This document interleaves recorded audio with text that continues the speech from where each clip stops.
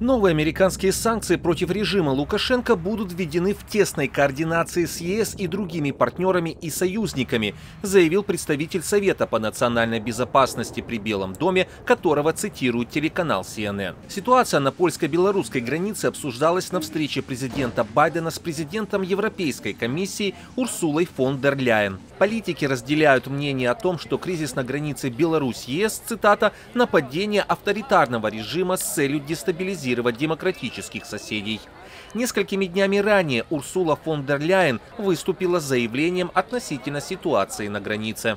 Я призываю государства-члены ЕС наконец одобрить расширенный режим санкций в отношении белорусских властей, ответственных за эту гибридную атаку. ЕС, в частности, изучит, как ввести санкции, в том числе путем внесения в черный список авиакомпаний третьих стран, которые активно занимаются перевозкой людей. В частности, власти Евросоюза рассматривают возможность введения санкций против российского перевозчика «Аэрофлот» из-за миграционного кризиса на белорусско-польской границе.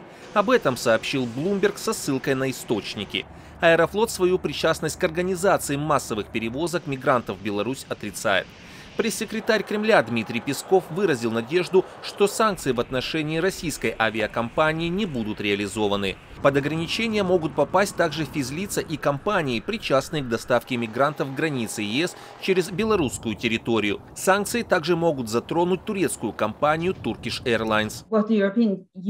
Что Европейский Союз может сделать и, похоже, делает, это попытаться остановить полеты мигрантов в Беларусь, потому что если они не доберутся до Беларуси, они, очевидно, не смогут добраться до границы Беларуси с Польшей, Литвой и Латвией. Что если европейские компании не будут предоставлять самолеты по лизингу Белавия? Европейский Союз находится на правильном пути, вводя санкции, которые вынудят лизинговые компании, предоставляющие самолеты Белавия, расторгнуть эти контракты. Если говорить о турецких авиалиниях, думаю, что Европейский Союз может оказать на нее давление. Элизабет Бро отмечает, что режим в Минске не демонстрирует намерения снизить напряжение в отношениях с Евросоюзом.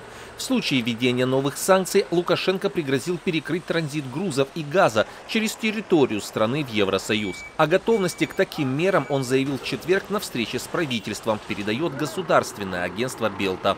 А если мы закроем транзит через Беларусь? Через Украину не пройдешь, там российская граница закрыта. Через Прибалтику дорог нет.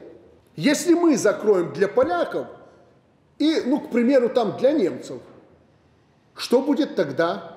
И мы не должны, защищая свою суверенитет и независимость, останавливаться ни перед чем. Через белорусскую территорию проходит российский газопровод Ямал-Европа. Железная дорога используется Китаем для транзита грузов в рамках программы «Один пояс, один путь». Через автотрассы проходит примерно две трети автомобильных перевозок из Европы в Россию. Александр Лукашенко также заявил, что просил Министерство обороны России подключить стратегическую авиацию к дежурству на западных границах Беларуси. Направили сюда стратегические бомбардировщики в сопровождении наших истребителей.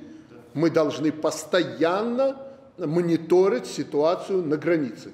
Министерство обороны России сообщило, что два дальних бомбардировщика Ту-22М3 провели патрулирование в этом районе и проверку систем ПВО союзного государства. После учений самолеты вернулись на российский аэродром. Элизабет Броу считает, что таким образом Лукашенко пытается втянуть Россию в сложившуюся ситуацию. На данный момент это противостояние Беларуси с Польшей, Литвой, Латвией и в более широком смысле с Европейским Союзом и НАТО. В долгосрочной перспективе у Минска нет шансов против ЕС и НАТО. Лукашенко явно втягивает в противостояние и Россию. Кремль не собирается дистанцироваться, потому что Беларусь – один из немногих друзей Москвы. И такое развитие очень опасно для России. Эксперт подчеркивает, что в противостоянии между Белоруссией и ЕС, где ни одна из сторон не планирует делать шаг назад, больше всех страдают мигранты, которых режим Лукашенко использует в качестве разменной монеты.